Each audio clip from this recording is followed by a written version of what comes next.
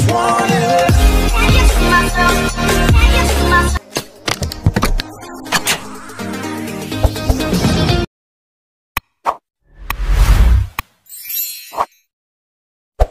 Hello Philippines and hello world, sa mga nakaraang laban nga ng ating Biga 10 housemates ay nagkaroon ng parehas na puntos ang teen housemates at celebrity housemates, matapos makuha ng teens ang first and second community test na may katumbas nga na 75 points ay nasungkit naman ng celebrity ang ikatlong laban at sila nga ay nakakuha ng 75 points, ibig sabihin magkakaroon nga ba ng tiebreaker sa pagitan ng dalawang community, Isang pasabog naman ang inilabas ni Kuya at ito nga ay ang karagdagang spot na sa halip na Big 4 ay magiging Big 5 na ang uusad at makakakuha ng gantimpala.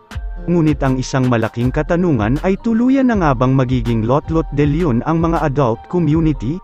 Magkakaroon pa nga ba sila ng chance na makasungkit sa limang seats para sa Big 5? Samantala sa aming pagsisiyasat ay nakasagap kami ng balita na aabot pa nga ang ating mga adult housemates sa Big Night, dahil makikita nga sa post ng Pinoy Big Brother sa kanilang Facebook page na ang title ng kanilang pagtatapos ay, Biga 10 na Big Night, sa aming palagay hindi pa dyan nagtatapos ang mga pasabog ni Kuya.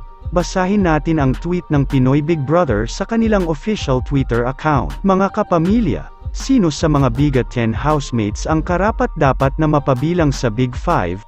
Abangan ang mas madami pang pasabog sa nalalapit na Biga 10 na Big Night ng Pinoy Big Brother Community Season 10. Tunay na unpredictable nga ang mga susunod na kaganapan, dahil kung ating mapapansin base sa post nila ay tila magkakaroon pa ng chance ang adult community na makakuha ng spot sa pinag-aagawang Big 5. Sila kaya ay dadaan na naman sa isang challenge or isang botohan ang magaganap, or sa aming palagay ay magkakaroon ng isang tiebreaker ang ating teen community at celebrity.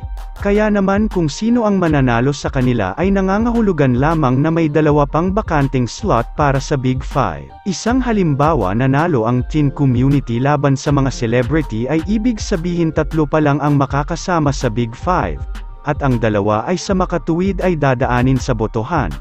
At dahil nga maari pang magkaroon ng chance ang adult ay maglalaban-laban ang celebrity at adult sa botohan. At kung sino ang dalawang may pinakamataas na boto ay siyang kukumpleto sa Big 5. Ano sa palagay nyo? Mga kumunesens, just comment down below. And don't forget to like, share, and subscribe. Thanks for watching.